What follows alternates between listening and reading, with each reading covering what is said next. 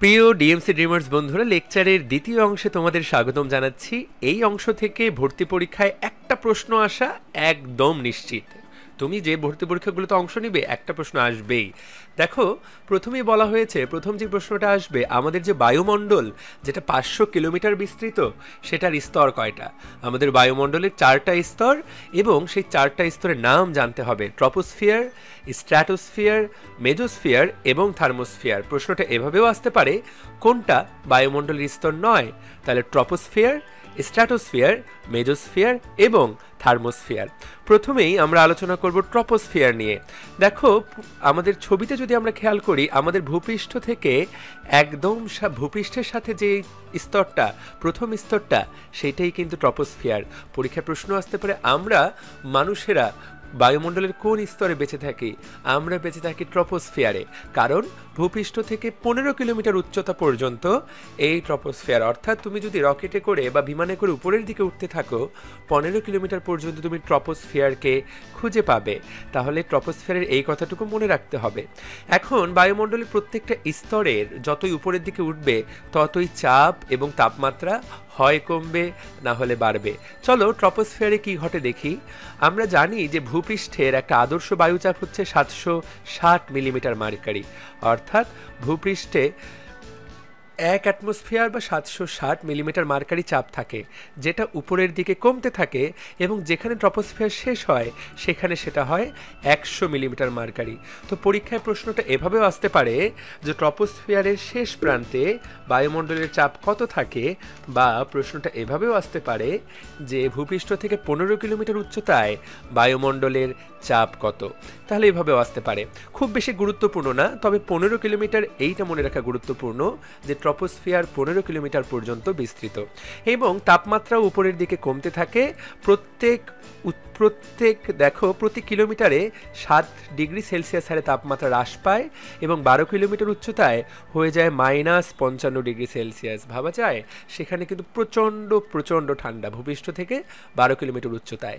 এখন যে লাইনগুলো পড়লাম এইগুলো মোটামুটি ইম্পর্ট্যান্ট কিন্তু এই লাইনটা অত্যন্ত গুরুত্বপূর্ণ। এখন যেটা পড়ব, দেখো ট্রপোস্ফিয়ারেই ঝড়, ঝঞ্ঝা এইগুলো ঘটে। অর্থাৎ আমাদের ঝড় দেখি, সেটা কিন্তু ট্রপোস্ফিয়ারে ঘটে, সেই জন্য ট্রপোস্ফিয়ারকে ক্ষুব্ধ মণ্ডল বলা হয়। কিন্তু ট্রপোস্ফিয়ারের ঠিক উপরে যে স্ট্র্যাটোস্ফিয়ার সেখানে কিন্তু কোনো ঝড় বৃষ্টি হয় না। সেই জন্য স্ট্র্যাটোস্ফিয়ারকে শান্তমণ্ডল বলা হয়। এখন, এই যে শান্তমণ্ডল এই শান্তমণ্ডল দিয়ে কিন্তু দেখো জেট বিমানগুলো চলাচল করে। জেট বিমানগুলো অত্যন্ত অত্যন্ত স্পিডে চলাচল করে। সেখানে ঝড় হলে তারা বিপদের সম্মুখীন হতে পারে। সেই জন্য জেট বিমান চলাচল করে কিন্তু স্ট্র্যাটোস্ফিয়ার দিয়ে। আর আমাদের যে সাধারণ বিমানগুলো, প্রায় সব ধরনের বিমান যেগুলোকে আমরা আকাশে উড়ে বেড়াতে দেখি, যাত্রীবাহী বিমান, সেগুলো কিন্তু ট্রপোস্ফিয়ার দিয়ে চলাচল করে। তাহলে ট্রপোস্ফিয়ার দিয়ে চলাচল করে সাধারণ বিমানগুলো, জেট বিমানগুলো চলাচল করে স্ট্র্যাটোস্ফিয়ার দিয়ে। বিমানগুলো সাধারণত বারো দশমিক দুই কিলোমিটার থেকে, ভূপৃষ্ঠ থেকে দুই, বারো দশমিক আট কিলোমিটারের মধ্যে চলাচল করে, আর ট্রপোস্ফিয়ার তো পনেরো কিলোমিটার পর্যন্ত বিস্তৃত। তাহলে আশা করি মনে রাখতে পারবে। এখন যেখানে একটা স্তর শেষ হয় এবং আরেকটা স্তর শুরু হয়, এই দুই স্তরে মাঝামাঝি একটা ছোট্ট এলাকা থাকে, যেটাকে বলা হয় পজ পথ শব্দের অর্থ বিরতি। তো ট্রপোস্ফিয়ারের পরবর্তী যে পজটা, সেটাকে বলা হয় ট্রপোপজ। পরীক্ষায় আসতে পারে ট্রপোপজ কার কার মধ্যে বিদ্যমান? এটা বিদ্যমান ট্রপোস্ফিয়ার এবং স্ট্র্যাটোস্ফিয়ারের মধ্যে। এবং আমরা একটা জিনিস একটু জেনে রাখি, এই যে উপরের দিকে গেলে তাপমাত্রা কমে বা তাপমাত্রা বাড়ে, এই জিনিসটাকে বলা হয় ল্যাপস রেট, অর্থাৎ তাপমাত্রা পরিবর্তনের হার। দেখো লেখা আছে, বায়ুমণ্ডলের ঊর্ধ্ব দিকে তাপমাত্রা পরিবর্তনকে বলা হয় ল্যাপস রেট। তাহলে ল্যাপস রেট মনে রাখতে হবে। এখন ল্যাপস রেট দুই রকম, একটু খেয়াল করবে। উপরের দিকে গেলে তাপমাত্রা কমবে, এটাকেই স্বাভাবিক এটাকেই স্বাভাবিক ধরে একে পজিটিভ ল্যাপস রেট বলা হয়। অর্থাৎ যদি উপরের দিকে গেলে তাপমাত্রা কমে, সেটাকে বলা হবে পজিটিভ ল্যাপস রেট আর উপরের দিকে গেলে যদি তাপমাত্রা বাড়ে, সেটাকে বলা হবে নেগেটিভ ল্যাপস রেট তাহলে আমরা পরীক্ষা যদি প্রশ্ন আসে যে ট্রপোস্ফিয়ারে কোন ধরনের ল্যাপস রেট বিদ্যমান, উত্তর হবে পজিটিভ ল্যাপস রেট কারণ প্রতি কিলোমিটারে মাইনাস সাত, প্রতি কিলোমিটারে সাত ডিগ্রি করে তাপমাত্রা হ্রাস পায়। তাহলে ট্রপোস্ফিয়ারের পরে যে স্তরটা, সেটাকে বলে স্ট্র্যাটোস্ফিয়ার। প্রথম যেটা মনে রাখবে, স্ট্র্যাটোস্ফিয়ার শুরু হবে তাহলে পনেরো কিলোমিটার থেকে, এইটা বিস্তৃত পঞ্চাশ কিলোমিটার পর্যন্ত। পরীক্ষা এভাবেও প্রশ্ন আসতে পারে, স্ট্র্যাটোস্ফিয়ার বিস্তৃত বিস্তৃত কত কিলোমিটার? পঁয়ত্রিশ কিলোমিটার। আর যদি বলে কত কিলোমিটার পর্যন্ত, তাহলে উত্তর হবে পঞ্চাশ কিলোমিটার পর্যন্ত। কিন্তু এর দৈর্ঘ্য কত? পঁয়ত্রিশ কিলোমিটার। এইখানে খেয়াল করো, স্ট্র্যাটোস্ফিয়ারে তাপমাত্রা কিন্তু যেটা ট্রপোস্ফিয়ার থেকে শেষ হয়েছিল, মাইনাস পঞ্চান্ন সেই মাইনাস পঞ্চান্ন থেকে এটা শুরু হবে এবং এইখানে তাপমাত্রা বাড়তে থাকে এবং বাড়তে বাড়তে পঞ্চাশ কিলোমিটার উচ্চতায় গিয়ে হয় দুই ডিগ্রি সেলসিয়াস। তাহলে এভাবেও প্রশ্ন আসতে পারে যে এইখানে তাহলে ল্যাপস রেটটা কী ধরনের?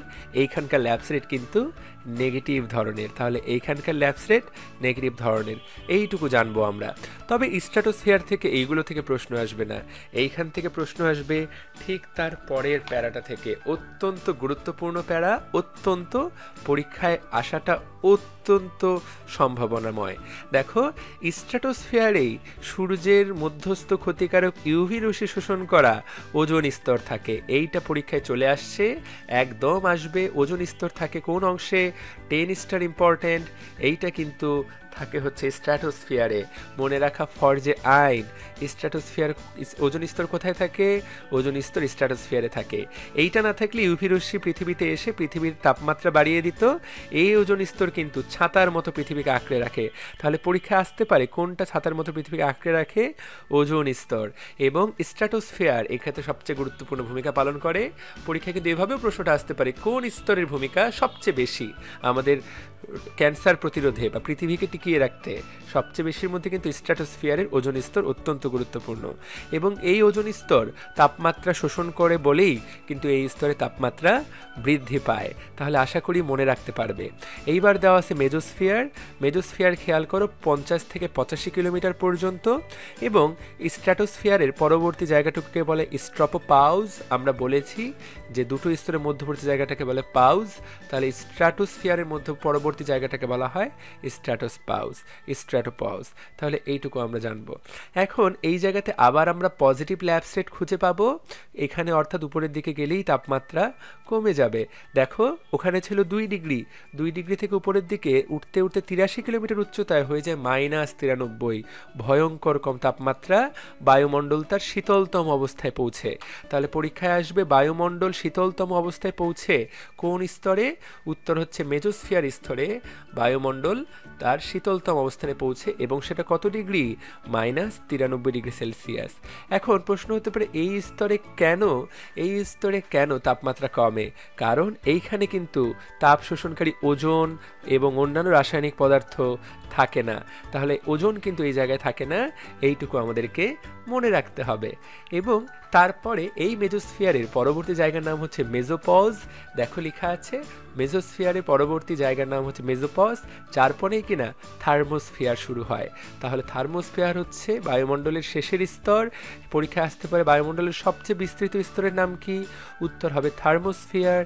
কারণ সেটা পঁচাশি কিলোমিটার থেকে পাঁচশো কিলোমিটার পর্যন্ত বিস্তৃত। এবং এই কথাটুকু আমরা জানব।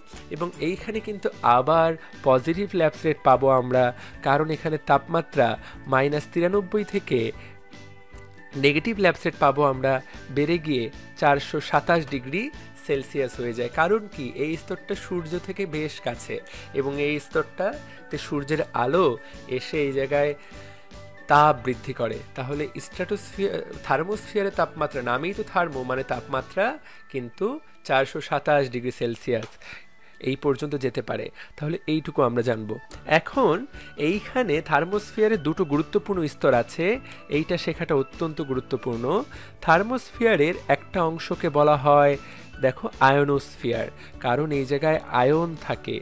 লেখা আছে, দেখো, এই অঞ্চলকে বলা হয় আয়নোস্ফিয়ার, কারণ আয়নোস্ফিয়ারে বিভিন্ন ধনাত্মক আয়ন থাকে। পজিটিভ নাইট্রোজেন আয়ন, পজিটিভ অক্সিজেন আয়ন, অক্স হাইড্রোজেন আয়ন, হিলিয়াম আয়ন। এই আয়নগুলো চিনতে পারতে হবে যে কোন কোন আয়ন থাকে আয়নোস্ফিয়ারে। এইখানে আলোক শক্তি কি করে? গ্যাসীয় অণুগুলোকে আয়নে পরিণত করে। তাহলে এইটুকু আমরা মনে রাখব। এবং এখানে আরেকটা কথা বলা আছে, দেখো, এই আয়নোস্ফিয়ারের উপর দিকে থাকে অধিক তাপমাত্রার এক্সোস্ফিয়ার। এক্সো শব্দের অর্থই বাইরে, তাহলে এক্সোস্ফিয়ারও কিন্তু থার্মোস্ফিয়ারের একটা অংশ। এক্সোস্ফিয়ারে হাইড্রোজেন এবং হিলিয়াম গ্যাস বেশি থাকে, ঠিক আছে? এবং এক্সোস্ফিয়ারের উপরের দিকে থাকে, এক্সোস্ফিয়ারের উপরের দিকে থাকে চৌম্বকোস্ফিয়ার। তাহলে দেখো, পরীক্ষায় প্রশ্ন আসতে পারে, নিচের কোনটি থার্মোস্ফিয়ারের অংশ নয়? সেখানে অপশনে আয়নোস্ফিয়ার দেওয়া থাকবে এক্সোস্ফিয়ার দেওয়া থাকবে এবং চৌম্বকোস্ফিয়ার দেওয়া থাকবে। আশা করি এই তিনটার বাইরে যেটা থাকবে, সেটা তুমি উত্তর করতে পারবে। তো বন্ধুরা, আমরা তত্ত্বীয় অংশটুকু পড়লাম। চলো চলো যাই লেকচারের পরের অংশে।